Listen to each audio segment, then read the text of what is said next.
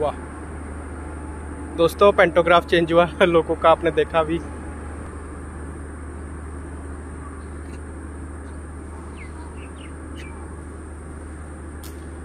आवाज़ आप सुन सकते हो पेंटोग्राफ की।